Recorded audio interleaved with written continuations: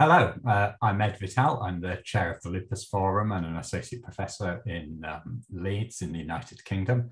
And welcome to our May 2022 review of the recent literature in lupus.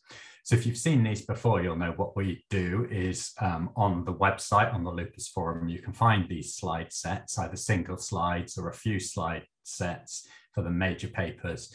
And then um, we're going to discuss a few of those today. Um, so for that, I'm joined by my fellow steering committee member, Professor Maria Dall'Era. Hello, Maria.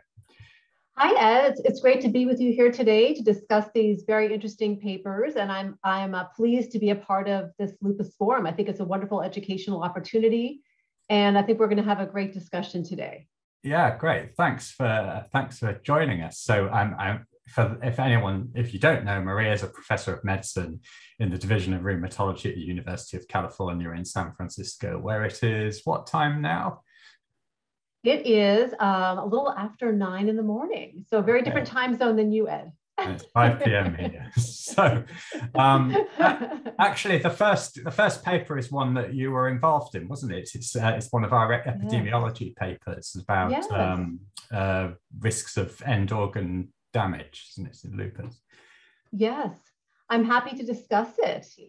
So this, as Ed just mentioned, this is a study that we performed using data from our Centers for Disease Control sponsored longitudinal lupus registry. So we have this longitudinal population-based registry of all of lupus patients in the San Francisco Bay Area, which is where I'm based at UC San Francisco.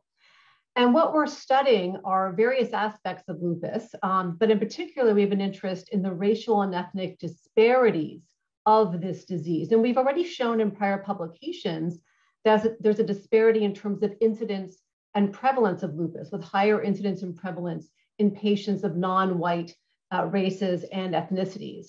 And in this paper, we looked at you know, what is the incidence of end organ manifestations, severe disease manifestations in, in the different racial and ethnic groups in our population? And we looked at end organ diseases in these five domains that you see here on the slide. And we defined multi organ disease as greater than or equal to two of these organ systems involved. And what we found was that patients of non white race and ethnicity, in particular Hispanic and, and Asian patients, um, had an increased incidence and earlier time to onset of severe end organ disease manifestations, particularly lupus nephritis, hematologic manifestations, um, as well as multi-organ manifestations. And I think, you know, one of the interesting aspects of um, our cohort in the San Francisco area is we have a high percentage, about 36% of our patients are of Asian ancestry. And so this gives us a unique opportunity to study this really this understudied population in lupus. And we found that that Asian patients, similarly Hispanic patients, have in, have more severe disease than their white counterparts. And so this goes along again with this theme of racial and ethnic disparities in lupus, higher mortality in these populations as well. Yeah, and, and when you say in, in in the San Francisco area, Asian patients yeah. are mostly East Asian.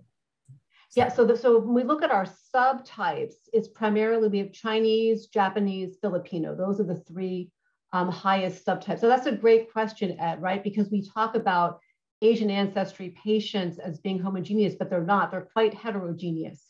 Yeah, um, and in I, fact, I, yeah. Where I work, we have more South Asian patients. Uh, you know, yeah, that's a, that's an excellent point. Um, and actually, we have a, we have another um, just a little little tidbit. We published another paper looking at you know time to onset of some of these manifestations as well, and trying to break it down just in our Asian group. And we found interestingly that Filipinos tend to have very early onset of some of these disease manifestations, and also an earlier time of diagnosis of of lupus. And so there are, I think, some differences as well in, in when you start to break it down by actually subtype of Asian ancestry. The numbers are just small, so it's hard to do appropriate power calculations. Um, but I think there's some interesting trends there and, and very important. Yeah, I was a little surprised not to see the, the black patients coming out worse in this study, actually. Were you? Yes, and I think that's such a great observation, Ed, because as we all know, there have been a preponderance of studies showing worse outcomes and and um, and higher incidence and prevalence in in African ancestry patients. I think in this particular study, it was just numbers. We just don't have the same numbers yeah. of patients, so we weren't able to show statistical significance in patients of, of African ancestry just because of where we are in the country. We don't have a large number of African ancestry patients. So we were able to, to study, I think, more robustly the Asian and Hispanics. I think that's the explanation. Yeah, it's a great but I, I, mean, I think across a few different things, including a study we've been working on recently, it's yeah. it really looks to me like the European ancestry patients are the outlier for having milder disease, aren't they? Actually. Yes. Yes, yes. that's that. I completely agree with that. Yes. Yeah. And and do you think it's all? Is this do we know if this is a some some kind of socio-economic thing, or is this the genetics and the biology of the disease, or a bit of both, or can you tell?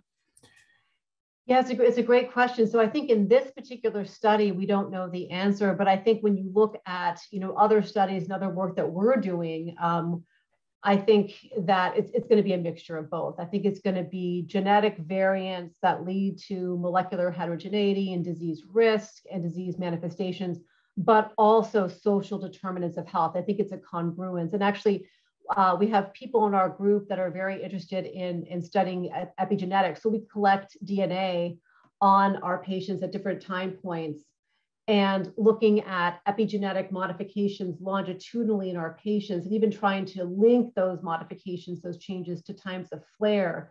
And I think what's interesting is we see that some of those epigenetic changes are linked to particular genetic variants, but many are not. And so the hypothesis or the thought is that there likely are environmental influences that also play a significant role yeah. um, as well. So I think it's going to be a mixture. But what do you think, Ed? Yeah, I agree. It's it's complex. It is complex, and um, I mean, we the study we did was about gene expression and particularly predicting response to rituximab, and we we we conclude we actually found that if you try to identify groups of patients by gene expression, you basically we had to treat the European ancestry patients just different to all the others. There's just different clusters there than there are in all the in the other groups, at least that we had. Again, we had a limitation in terms of the mix in our center, but it, it's it's just a such an important strat. You can't really stratify lupus therapies and what you're going to do without thinking about this ancestry question. I think that's coming up on a few of the others that we're presenting today, isn't it? Absolutely, I think it's yeah. such an important uh, important point. Um, so, so a lot more work to do, right, in that area. Yeah, absolutely. So should we go on to the next one at that point then? Um, so this is Great. one of the interferon activity ones. Uh, so I think I'm going to present mm-hmm. this mm-hmm. one. So this, I really liked this paper. Um, this is by Tim Niewold's group. So Tim's a real pioneer in the world of type 1 interferons in lupus and has published a number of really interesting studies.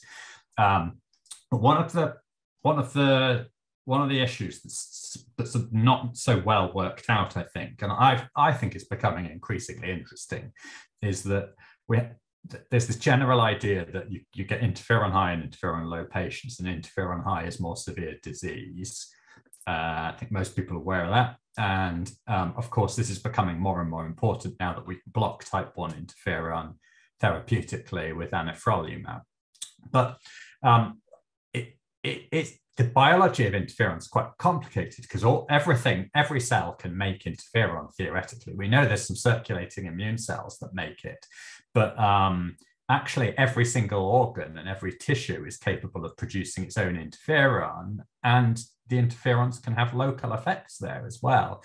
And I think that's what they're that's kind of one of the things they're alluding to here. Um, when you look at these studies because I've done a, quite a few of these where you're trying to correlate interferon signatures with different features. It always comes out the skin is the clearest association with interferon signature. It's, it becomes a little bit less clear with the other organs. So the first thing they did here was they looked at lupus nephritis and they actually did show, and that's what's in the table there quite clearly, that if you're high interferon, then you're more likely to have lupus nephritis. And that is particular to class three or four lupus nephritis. So the, the non-class three or four lupus nephritis was more in the interferon low patients. So that's one thing that's been a little bit unclear sometimes, and they showed it quite clearly. But then they did a couple of other things that I and that and that I thought made it really interesting. One is that they looked at where the interferon was coming from in the kidney, because the, there was something on this. There's there've been papers on this with these single cell RNA seq studies on on um, on lupus uh, nephritis biopsies looking for the interferon producing cells. It didn't didn't always show that many PDCs there, which a lot of people think is the main interferon producers, and instead seemed to be showing that tubular epithelial cells were quite an important source of interferon. So in Tim's paper, they did this in situ hybridization um, on the biopsies to look at the interferon producing cells. And they didn't actually find that many PDCs there. And it wasn't really clear that the interferon signature was necessarily that high when there was a PDC present. So, you know, is the interferon being produced by the PDCs that have gone into the kidney or by something else, or is it just circulating? And then they did one more thing that, again, I think made it a really nice story, which is then they showed in vitro that actually interferon treatment of podocytes would induce very lupus nephritis like changes. So the podocytes would start going into apoptosis and they'd start expressing chemokines that pull in other immune cells and things. So mm-hmm. actually, there's this really nice story, and I've seen this replicated in other tissues that actually there's interferon activity within the tissue that you may not always be seeing in the blood. Um, that you know the tissue can produce the interferon, the tissue can respond to the interferon. You might not see it in the blood, and maybe that's something that these other therapies we use, like belimumab or or conventional immunosuppressants, aren't affecting in the same way that blocking interferon is affecting. So I think it's a really you know, I, I find it a very thought provoking sort of idea that there's a whole mm-hmm. side to the lupus inflammation that we're not always seeing. Mm-hmm. I agree. I think this is a fascinating paper, and I think it's it's so timely. I think given how we're all trying to think about in our clinical practices, right, how to use uh, one of our newly available therapies, anifrolumab. At least we have you know good data in non-renal lupus, but when you look at a study like this, you start to think about what could be the potential benefit in lupus nephritis. And of course, we have the phase two data. Ed, I'm not sure if you want to if you want to make a comment about. Yeah, so that um, phase two, it didn't meet its primary endpoint, but it was full of a lot of interesting signals, wasn't it? Mm-hmm. Um, that suggested there was some benefit. Um, and right. there were some interesting aspects that they had they had to dose higher as well, didn't they, to show the benefits in the in the, in the nephritis study. Right, that's exactly right. Um, and so I think that this that a paper like this begins to again lead some credence to the fact that you know interferon clearly is playing a role in the kidney, and it's interesting because it's it sounds like, at least from the data that they've produced here and the work that you've done, is that it's probably systemic type 1 interferon, right? That is then affecting the kidney and probably not local production of yeah. type 1 interferon, which I think is very interesting. And as you said, it's probably different tissue by tissue because we know that type 1 interferon, a particular um, interferon kappa, correct, is produced in the skin, for example, by keratinocytes. Yeah, and so exactly. I think perhaps each organ will be different. Do you, do you think mean, that's the case? That, that, that's what I started to think when we when we did that work. Is I sort of thought, well, you know, all this time we've looked at lupus patients and we sort of see this one's got skin disease, this one's got joint disease, this one's got kidney disease, and there doesn't really seem to be enough in the blood to explain it. Um, there's a few antibody associations, but they're pretty weak. And most of the other things you look at in blood are pretty similar. And so I, I sort of think, is it really the tissues in control that are dictating these different phenotypes that we see and why why patients present differently and why some of them just won't respond to certain classes of therapy no matter you know if you if we do things like you know things drugs like cyclophosphamide belimumab uh, b cell depletion they're potent drugs. They, they they hit their target well. Just some people that that doesn't work. Right. Right. So, yeah. Maybe there's something going on elsewhere. So yeah, mm-hmm. fascinating one actually. Very interesting, Ed. Yeah. Should we go on to the next one at that point? Sure. So uh, this is another one actually about following patients for long-term outcomes, isn't it? Yeah, so this is a paper that that uh, I thought was also very interesting, and this is from David Isenberg's group at University College London, and you know they have this very robust longitudinal cohort they've been following for four decades. And the, the focus of this paper was trying to understand how often do these patients achieve what we call clinical remission or low disease activity. And the reason why this is relevant is because we know when patients achieve this uh, level of low disease activity, we can call it complete remission, we'll talk about the definitions. But when patients achieve that state, they do better, right? They have less damage accrual, less morbidity, less mortality, better health related quality of life. And so this is a very important goal, I think, for all of us who treat lupus patients is how do we get patients into this level of low disease activity? And um, before getting into some of the data from the paper, I think the other important concept here, at least when I read this paper, was thinking about linking this to the, the paradigm of treat to target. Right, so we're all familiar with treat to target in a variety of different diseases outside of rheumatology, diabetes, hypertension, um, hyperlipidemia. And then in rheumatology, I think rheumatoid arthritis was the, the, the, first disease to, to really apply treat to target and it's worked extremely well. Patients have better outcomes. But in lupus, we're not quite there yet. And I think before we do treat to target in lupus, we have to define what is the target going to be. And is it going to be, you know, again, complete remission, low disease activity state?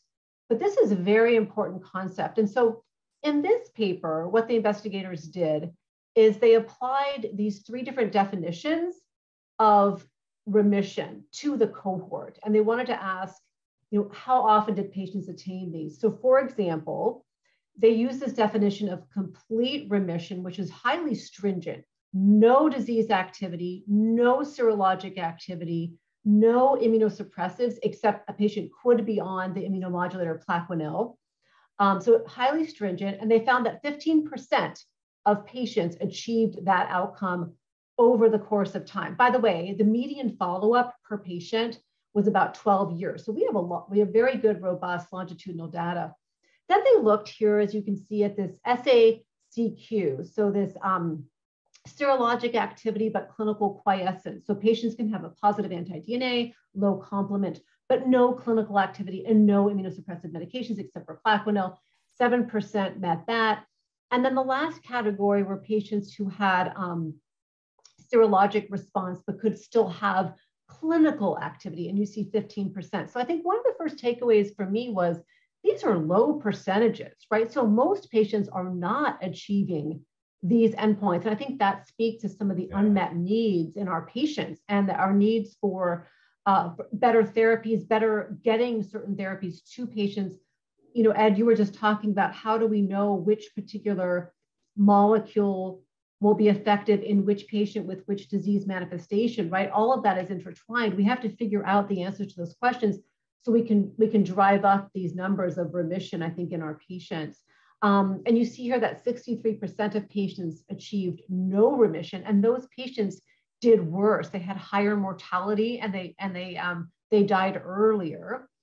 And then um, what I thought was interesting was the investigators went on to, to do multivariable analysis to look at what were independent predictors of complete remission. And here, interestingly, right, this links back to our first publication, white ethnicity was a predictor of complete remission. So getting back to what we talked about in the very beginning, that these patients tend to have um, less disease morbidity than non-white populations. Um, also, older age of diagnosis, absence of lupus nephritis, and absence of antiphospholipid syndrome were predictors of complete remission.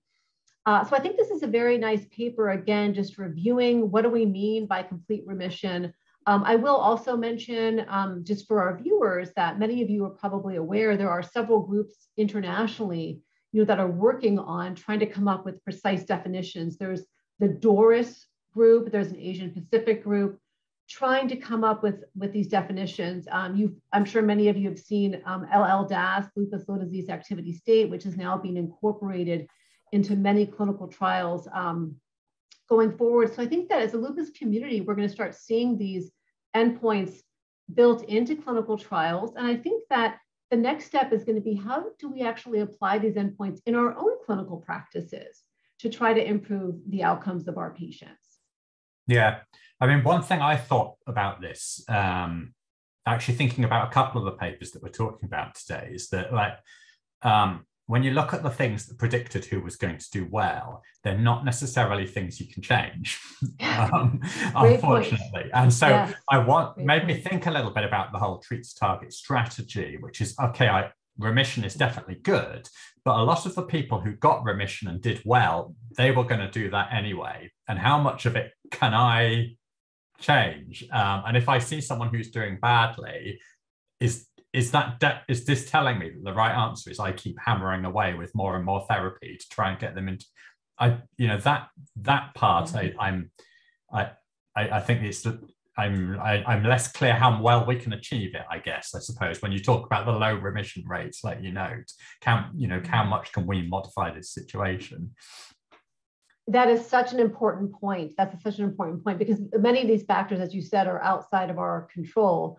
Um, I do wonder, it's interesting though, again, getting back to some of the comments, the important comments you made at the beginning about, you know, what is driving the heterogeneity in outcomes with, with various racial and ethnic groups. And if there are modifiable risk factors there that are linked to social determinants of health, you know, if we can modify those, but those are really hard to modify, right? Things like poverty level and, and, um, and exposures in terms of uh, environmental exposures where people live those are challenging to, mm-hmm. to to modify but i think i think you're right trying to think about all these different factors and maybe focusing in on things that we can modify but i think you make a very good point. I mean and the other thing i suppose with the things that you know the things you can't change is at least you can say well i know that from day one. Because I, I I'm often saying that when I'm in clinic and I make a new diagnosis of lupus in some groups of patients, like young black women or something, I'm just automatically on high alert as soon as I make the diagnosis that I think this has got potential to go badly. I need to be really careful here. I need to watch this person closely. And maybe it, there are some people who they should just have a different treatment strategy from day one because they've got these risk factors uh, and we should rather than just watching it happen and trying to chase the disease you know uh, maybe that's some that's the more positive take i suppose yes no i think that's exactly right and that's that's how we approach it in our lupus clinic as well at, at ucsf is you're absolutely right when we when we see these negative predictors of outcomes so again non-white race ethnicity pediatric onset lupus right that's the yeah. other one that we're not talking about but when you see that i think that you do um, you do go on high alert. And I think that what happens practically is over the course of time, you're just more careful about tapering off immunosuppressives. Once you get that person into what you think is a clinical remission, we are very cautious. Um, and many of those patients require longer courses of low level immuno, immunosuppressives, at least with the, the yeah. drugs that we have now. Um, I think that's that's a that's a good way to look at Sometimes you have to remind yourself of these kinds of data, don't you? Because you're looking at the person in front of you. They don't look that sick. Right. But you know that trouble may be round the corner and you have to just remind yourself, don't be fooled because they look okay today, don't you? Absolutely. The, the other thing, of course, um, the just I don't know I don't know if everyone's familiar with this term. I'd seen it before with Michelle Petri's paper. It, you know, this mm. serologically active, clinically quiescent group. This mm. people who have their antibodies are up, but they seem okay. So yeah. actually, they did okay here, didn't they? Mm-hmm. In this, mm-hmm. they did. Study. They did. They, uh, they, they, did. they didn't get they, they, they did as as well as the people who were clinical remission, didn't they? So, uh, so I suppose don't just react to antibodies. I think that's exactly right. And I think the way that I look at that is, and you've done so much work in this area, Ed, but thinking about, you know, what are the contributions of anti-DNA, for example, to various manifestations? We don't really know, right? We know there's a clear link with class three, class four lupus nephritis, but we start talking about the skin or yeah. uh, or the joints. I don't really understand um, exactly how these particular antibodies are linked to disease pathogenesis in those in those organs. And so I think that's where I have a struggle sometimes. And maybe that's why we're seeing that these patients did okay. It's the, limit, it's the limitations of the biomarkers that we've got, really, isn't it? Mm-hmm. That you know these biomarkers they can be up and actually you, you, that that's not enough to tell you when. Yes. Uh-huh. This is what well one that I, I did with this is I was first author on this with AstraZeneca. This was this is quite timely and it, it links to some of this other stuff, biomarkers, severe subgroups and things. So this is this is the interferon gene signature for the anifrolumab study. So this is this is an, an interesting background to the story because we've known for ages um, since the work of people like Lars Rönnblom, Peggy Crow, Tim Newalls, that you get these high interferon people and these low interferon people who, uh, who are going to get milder disease. And we've got this interferon blocking drug with anifrolumab. So of course that signature gets measured. In the phase two study with anifrolumab, there was quite a striking effect um, that really the, the efficacy of the anifrolumab really stood out in the interferon high patients and was quite a lot less clear in the patients who were interferon low. Although there were less of those and the effect didn't look like nothing, it was just less. So when we get to the phase three studies, we that's gets reanalyzed. So interferon gene signature again at baseline, that just gets classified high or low. Um, and then the, this was a planned analysis um, of interferon gene signature and several other clinical and, bio, and um, the, the, serological subgroups were all planned from in advance. Um, so here's the analysis for the percentage of patients who are responding um, for the interferon high and the interferon low. And the answer was that there is still a better effect of the drug in the interferon highs, but there, again, there isn't no effect on the interferon lows. So the diff, the drug was definitely better than placebo on the interferon lows in this pooled population, albeit that's a smaller group. So again, why is that because interferon's so complex with all these different organ effects that we can't just classify it as a blood test that's high or low. It, it, it may be. Um, we we don't know exactly why. Um, so um, the, the other marker on there is, of course, the serological markers, meaning have they got high double-stranded DNA, low complement, and if they had at least one of those markers, again, you've got a similar effect, and and that will correlate with the interferon status, of of course. So you don't need to measure an interferon gene signature to decide when to use anifrolumab, but it do, um, it's not that clear, but it does sort of suggest something about different sorts of SLE and uh, different biological subtypes. Um, I, I mean, I, I, I spent a long time looking and thinking about these data when we were writing the paper, and I, I sort of thought mm-hmm. you, you if you've got a biomarker like an interferon signature, it can stratify your response to a therapy in a few different ways. There's probably three different ways. And I thought they're probably all true here.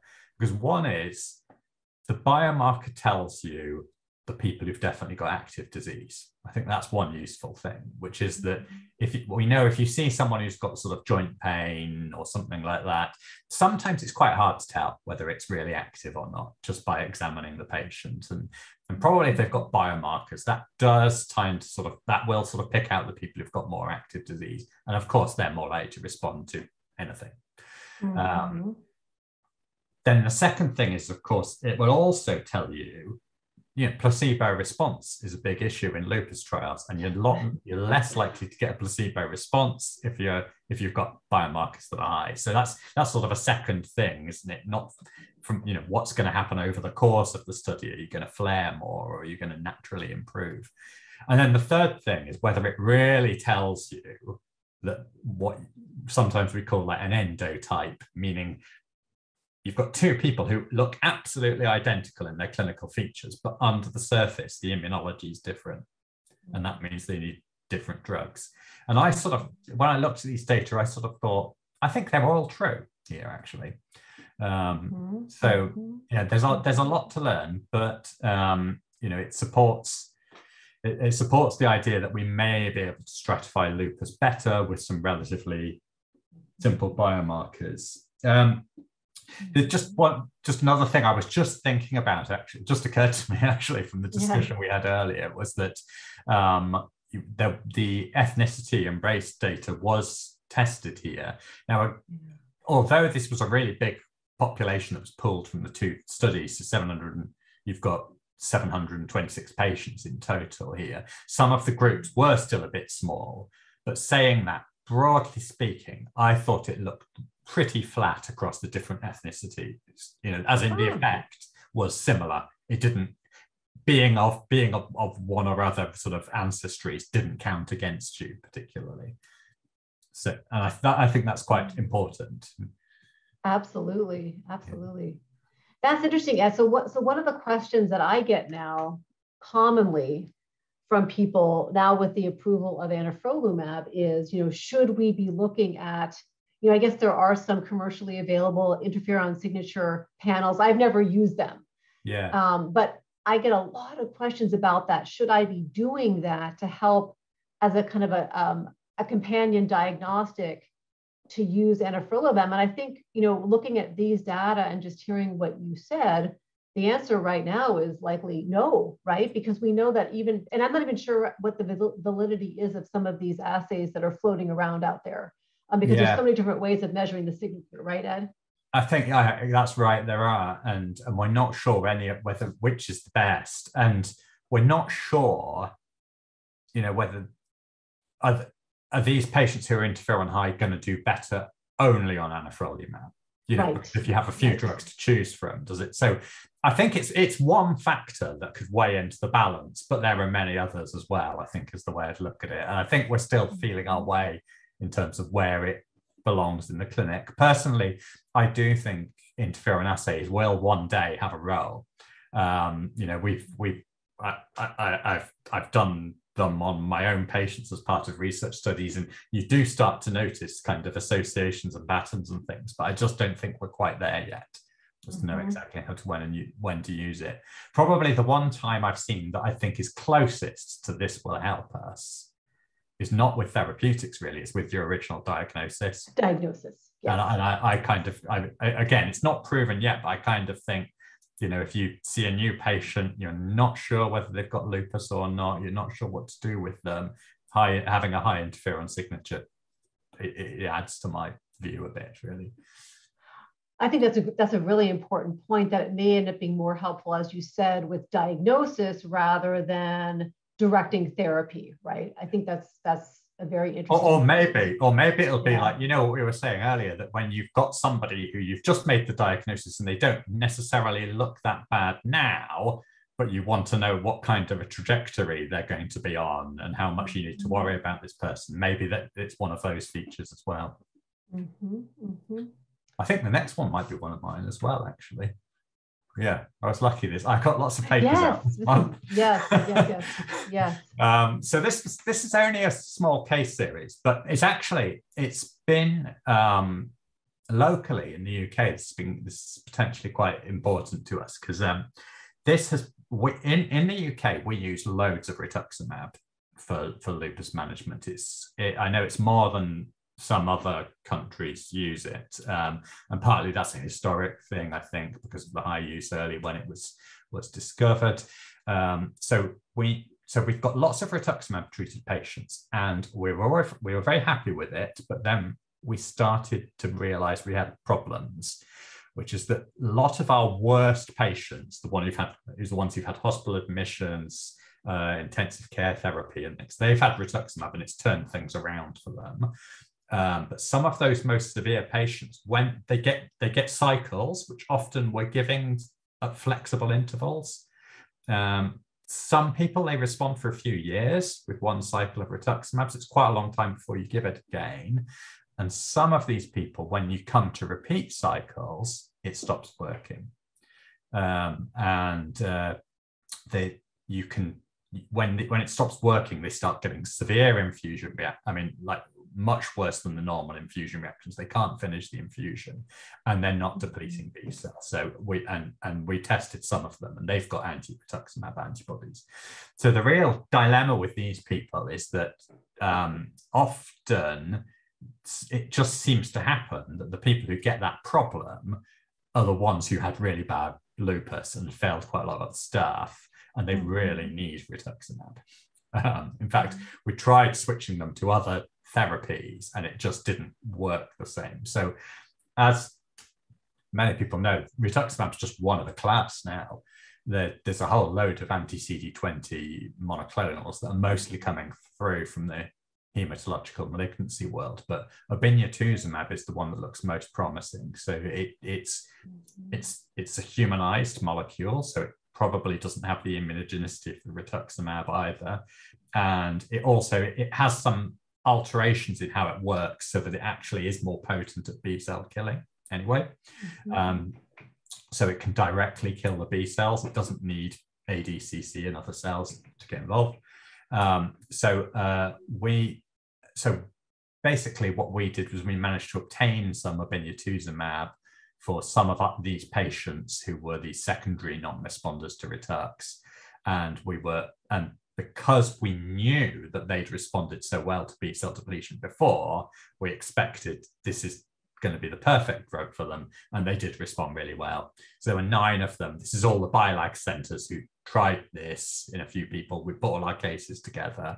Um, and uh, essentially, there were, of the nine patients, there was one that didn't respond. He was a patient with renal disease who had to have cyclophosphamide quite early. I don't know if things had gone on for longer, if she wouldn't have done better.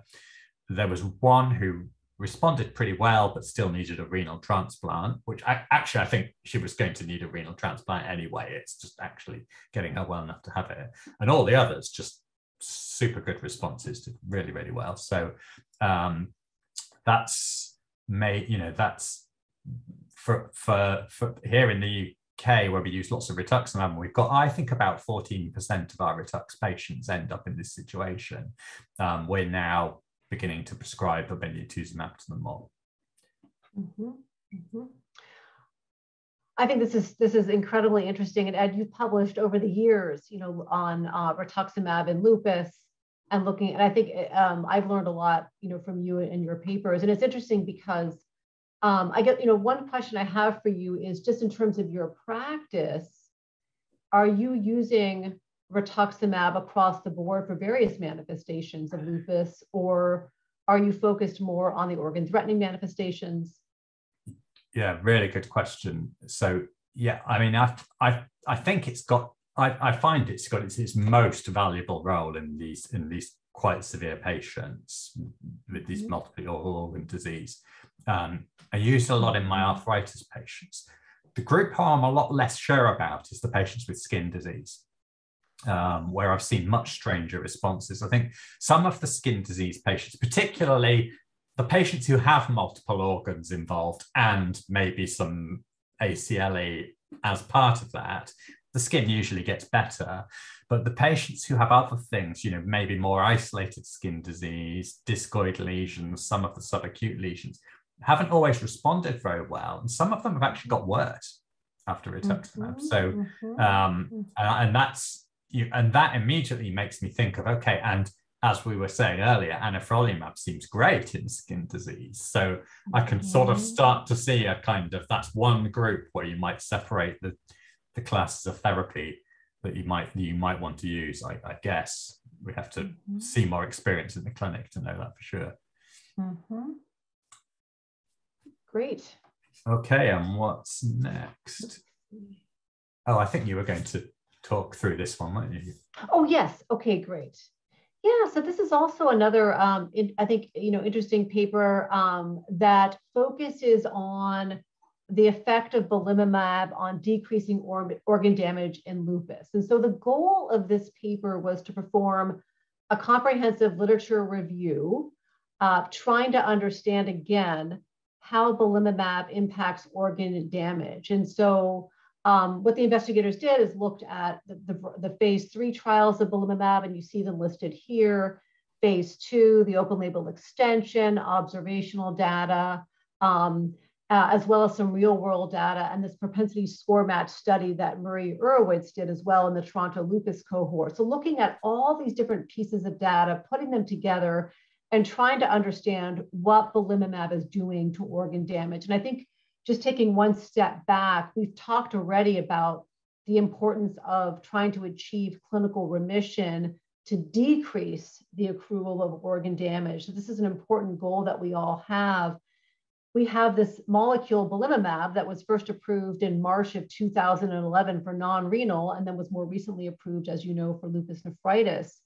And so the thought is, you know, what evidence do we have that we could actually modify disease progression and organ damage with this molecule? And I think the, the take home message from this preponderance of data in this literature review was that there are robust lines of evidence that belimumab does decrease organ damage. I think one key thing to remember is that when you when you think about how do we assess progression of organ damage, you need long-term follow-up, right? So a typical phase three trial with a 52-week endpoint, we're not going to be able to show a specific decrease in, in damage, right? Because it takes time when we think about how we measure damage with the SLICC damage index, which is our validated tool, it takes time, it takes years to have to be able to show a change in progression of damage. Um, but what we can do in these shorter term trials is look for um, other kind of predictors of damage. So for example, uncontrolled disease activity, we know that that will lead to increased damage. We know that certain medications, in particular glucocorticoids, will lead to damage. We know that flares will lead to damage. And so in the shorter term trials, we can look at does belimumab impact those shorter term endpoints those drivers of damage. And sure enough, we did see that um, in, in these trials. And so I think that just uh, again, this look at a variety of different data sources, which I think suggests to us that belimumab does have an effect in decreasing organ damage. And I think that this is very helpful for us as we think about you know, how we are using belimumab in our clinical practice. And one thing that I've been thinking about um, just over the course of time is something like belimumab may end up being a, very good agent to use as a maintenance therapy, right? And we saw that, for example, um, in the recent BLISS-LN trial, the lupus nephritis phase three, which led to approval of belimumab for, for lupus nephritis, we saw that at the two-year endpoint, there was decreased um, progression of decline in EGFR, for example, that we're starting to see modification of these longer term endpoints. And so perhaps this agent might not be as potent early on to stop disease activity, but it may be very helpful in the long term as a maintenance agent to prevent ongoing disease progression and disease damage. But of course, we have to figure these things out in time. And this always comes back to a question that I constantly think about, which is how do we, you know, not only how do we decide which particular therapy to use in which patient, but how do we sequence our therapies? And maybe we have to be using combination of therapies. Mm. Um, and there are, you know, uh, several papers now and studies looking at the combination of, for instance, we talked about rituximab, rituximab plus belimumab. Um, you know, how can we use our therapies in a, in a very rational way supported by evidence? Some may be helpful in the beginning of disease initiation, some more for the long term. We also know belimumab has an incredibly good safety profile. And so I think that the notion of using it for a longer period of time to prevent damage, I think makes sense because the safety profile is also very good. But of course, everything that I'm saying is, is still has to be supported by data before it's um, you know adopted by the community but i think that we're starting to gather those data don't you think ed with these types yeah. of studies yeah absolutely. i mean it just shows doesn't it one thing i really thought here is look how much data they have they it need it takes to show the effects isn't it it's it, yeah. it's it's difficult and that's nice thing of a drug about a drug like belimumab that's been around for so long is they've got it all they've got so many different studies longer term follow-up and real world studies haven't they um, and yeah, the other thing, like you like you were saying, is one of the other difficult things is that, um, yeah, when we talk when we in rheumatoid arthritis studies, when we talk about damage, we mean that the the synovitis causes the bone to get eroded. But in lupus, it's it's, it's more difficult, isn't it? Because it could be osteoporosis, which might be more to do with steroids that you had to take. Exactly. Or, or, or, it could be a cataract, or, or you know, it doesn't. It's not necessarily just lupus induced scarring, is it? Exactly. It's, it's much more. I guess maybe that's one of the other reasons why it's so difficult to um, to show these effects. And the other thing I thought mm-hmm. is I, I was thinking, is damage always the most important thing? in the long term for patients? Because there are some people who don't get damage, and are they just fine? Or is it still not okay? You know, is it just, oh, you don't have any damage? Everything's fine for you. It, I mean, maybe not. I you agree with you. I think, yeah, I think that's such that is such a great point, and I think that gets to kind of this disconnect. I think when we see in our real world patients, when you think about, you know, what are so many of our patients impacted by fatigue, right, cognitive dis- dysfunction, yeah. just not feeling well. How do we quantify that, right? And yeah. And I think you're absolutely right, Ed. Those people, you know, how do we impact quality of life in those particular patients and as you just said they're not doing okay right and yet we're not we're not measuring damage in them we're not right i mean there um, might even be people who've accumulated something we call damage but they they're actually feeling better than some of the people who who don't have i, I don't know i mean i think yeah. for for the yeah. renal patients i think this is really mm-hmm. crucial isn't it um, I think that was the one when I was looking at this before. I thought the the it, because in, in renal nephritis, in lupus nephritis studies, we just look for, um, and our endpoint is so much based on just proteinuria. Yeah.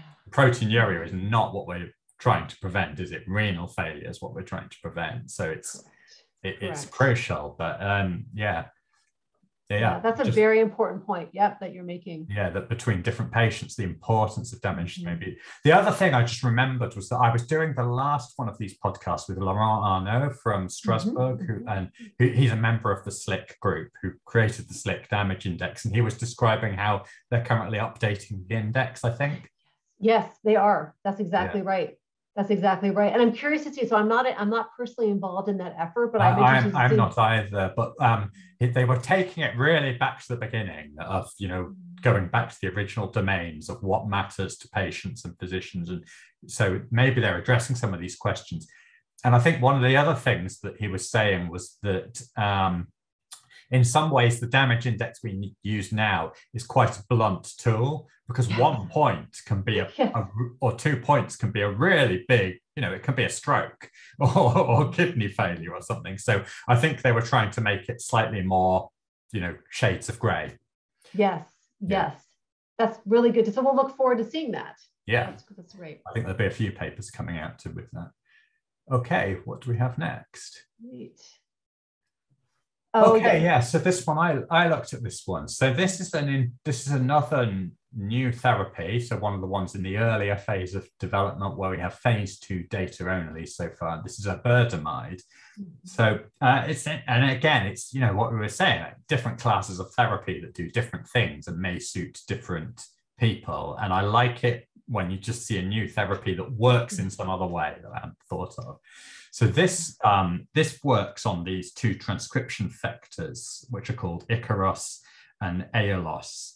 And these, um, these are, so basically these are transcription factors that induce the, the expression of lots of genes that are related to the immune system, particularly lymphocyte differentiation and some cytokines. And they were identified from genetic studies. So there's some there are some uh, polymorphisms in this genes that are associated with susceptibility to lupus. So that's how we knew that was a good target. So is a drug that works on these um, transcription factors, and it's the phase two studies published, and it shows um, phase two level efficacy data. And this paper here was trying to see what it does, um, which I think was pretty important because um, it does so many potential things that trying to work out which ones were interesting to um, to what were important and which, which it did mainly that led to response. So I think some so I think one of the other interest one of the things they showed is that you get some reduction in some of the things we know quite well that we've already talked about today, like interferon signature goes down and B cell numbers go down you also got some improvements in things in the immune system you might think are good, like IL-2, IL-10, regulatory T cells. So there's a kind of a, a, a rebalancing in a way going on on this therapy.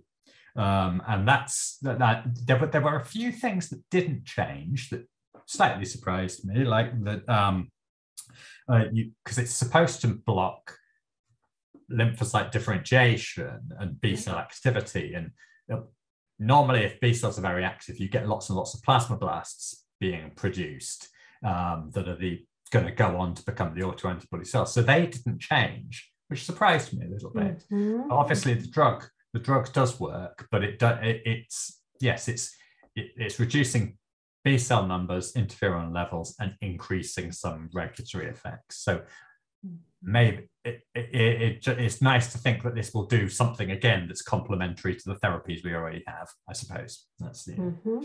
That mm-hmm.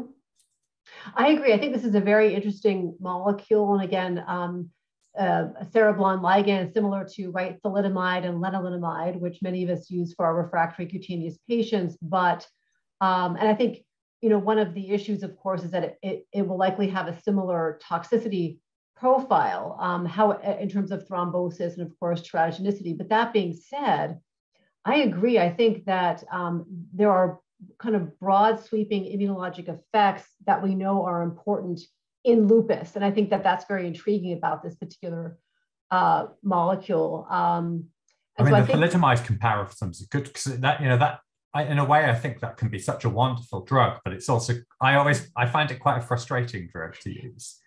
It's almost, um, it's so challenging for patients in terms of the regulatory requirements, right? Yeah. Yes, and absolutely. Also, and I've given it to some of my worst skin patients and they've, they've done really, really well. Yes but then they've always had to come off it at some point because of toxicity particularly neurotoxicity quite often i think so yes peripheral neuropathies absolutely thrombosis so you're absolutely right and lenalidomide has a better toxicity profile so we try to move to that first but often often our uh, insurance companies will, won't approve lenalidomide first we have to go through with thalidomide so you're absolutely right and i think yeah. and in this particular i think in this phase two i'm trying to remember I think that all the patients were given um, some sort of prophylaxis with low dose aspirin. I can't remember, um, but I think that there was some sort of mitigation for thrombosis in this particular trial, um, which yeah. makes sense. Yeah.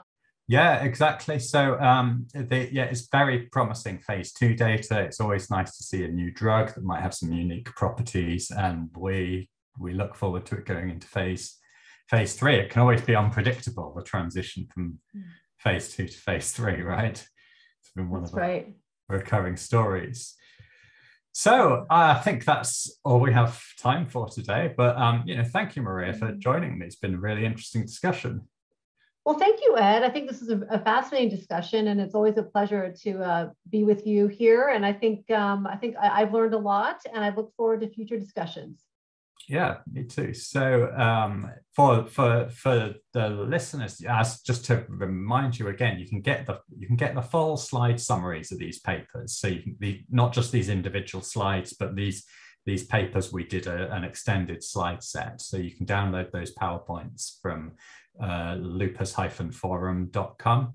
And if you register on the site, you'll get notifications when we upload new publications these podcasts are going to be regular. We also do podcasts after the major conferences, and there'll be other things to follow courses, conference, congress materials. So do take a look at it.